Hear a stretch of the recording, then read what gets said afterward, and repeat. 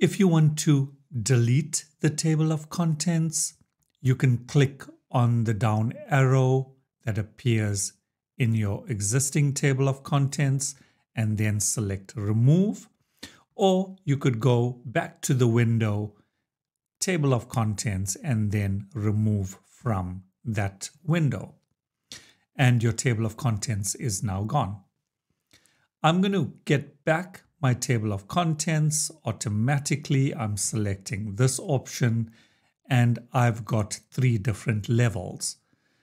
When I look at this table of contents, I do not see those icons that I had previously. In order to see the icons, you click inside of the table of contents and these icons now appear. I notice that after I've added the table of contents, my page numbering appears to be incorrect. As I scroll down, I have the discussion and the conclusion on page 2. Uh, however, that's not correctly reflected on the table of contents. So what I would need to do is to update my table of contents and I can click on this particular option. Clicking on that, it wants to know whether I want to update page numbers only or to update the entire table. In this instance, I'm only interested in updating the page numbers and I click on OK. Having done that, if I click outside of it, I can now see that my discussion and the conclusion is on page 2. So I can keep my table of contents in my document and I can make changes. And let's say, for example, I change this heading uh, to literature and it's no longer literature review. And page numbering, I could have add paragraphs. So my page numbering would have all been uh, offset and they would need to be updated. In order to do that, I can click onto the table of contents and then update the table again. And when I update the table, I will say update the entire table.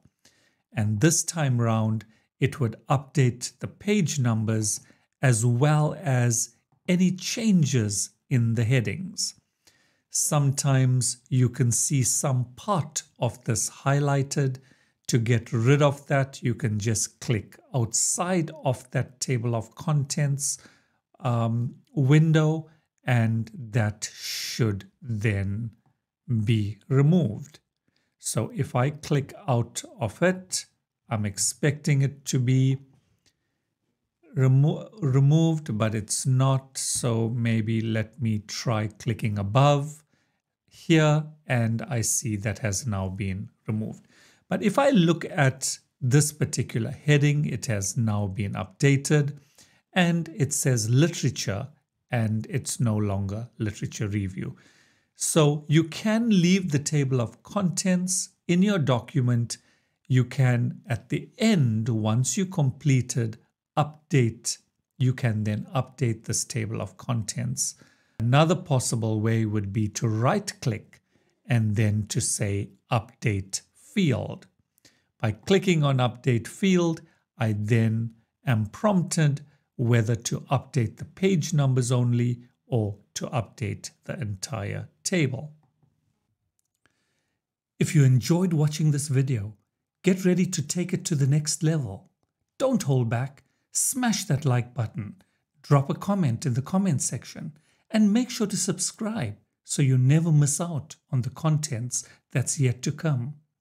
Catch you in the next video. Bye for now.